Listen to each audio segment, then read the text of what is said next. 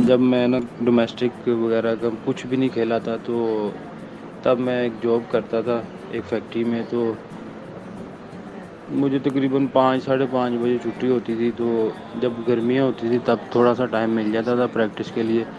जब सर्दियाँ होती थी, तब तो मगरब भी पाँच बजे होती थी तो मैं आके थोड़ी बहुत जब टाइम होता था, अंधेरा नहीं होता था, पंद्रह बीस मिनट प्रैक्टिस बैटिंग करनी नेट में। उसके बाद मैंने ईशा की, ईशा तक ट्रेनिंग करता था अंधेरे में ग्राउंड में ना।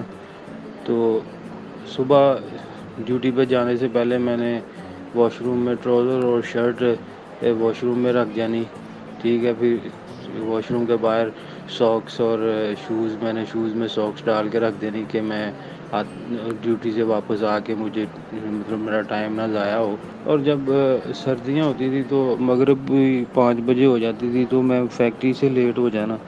तो फिर मैंने घर घर में ही ना, हमारे तीन फ्लोर हैं घर के ना तो दस बारह सीढ़ियाँ बनती हैं उसकी। तो मैंने उसी में ना, सीढ़ियों में, सीढ़ियाँ के मैंने तकरीबन पंद्रह बीस चक्कर लगा लेने। कुछ मतलब हालात ऐसे थे कि मतलब क्रिकेट नहीं खेल सकता था। जो भी ज़रूरी थी।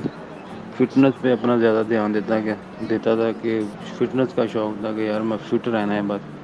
तो ये नहीं मुझे पता था कि इस तरह का मैं घर में हार्ड वर्क करूँगा तो इस तरह की ट्रेनिंग घर में करूँगा तो मुझे उसका सिला क्या मिलेगा।